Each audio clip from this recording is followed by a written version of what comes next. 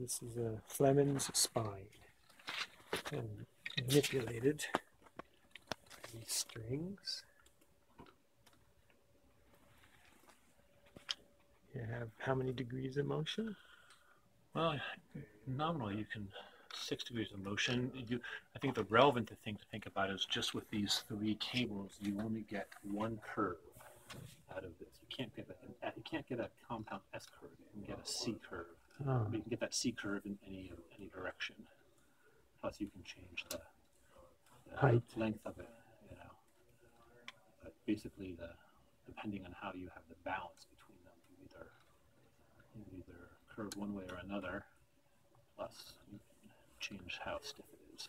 and considering that NASA needs arms, this is a reasonable design. Yeah, it's an interesting, definitely an interesting idea to play with.